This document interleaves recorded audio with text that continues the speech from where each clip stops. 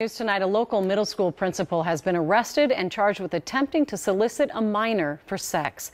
That minor was an undercover police officer. Lauren Lemanchuk joins us with details and what the school district is saying. Lauren? Julie Mohammed Salim is principal at Eagle Ridge Middle School in Savage. Tuesday, he was one of four men picked up in a sex trafficking sting.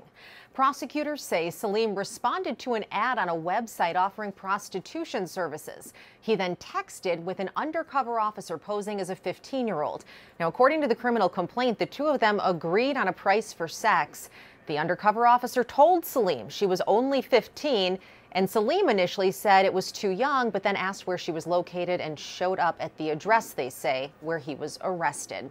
In a statement, the Burnsville Savage School District confirmed that Mr. Salim will not be at work at this time, and there is no indication that any District 191 students are involved.